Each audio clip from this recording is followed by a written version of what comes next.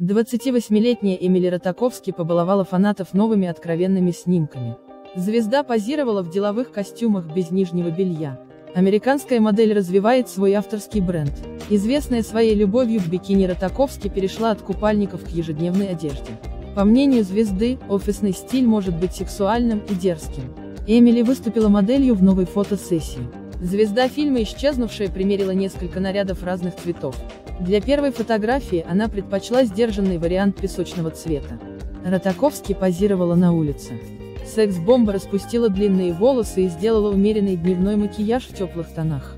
Звезда дополнила образ маленькой бордовой сумочкой.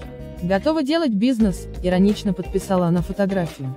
Для следующего снимка Эмили выбрала более яркий красный цвет. Костюм состоит из удлиненного жакета и мини-юбки. Под жакет модель отказалась надевать лиф. Красотка частично обнажила грудь.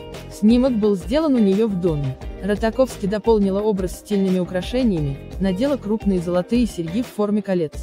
Для финального кадра актриса надела только мини-юбку, а грудь прикрыла руками. Отражение пышных форм модели было запечатлено в зеркале. Звезда призналась, что поклонники могут купить юбку из ее коллекции отдельно, чтобы на свой вкус сочетать ее с любым верхом. Она уточнила, что сама очень полюбила эту юбку. «Я намерена носить ее всю осень», — заверила Ротаковски.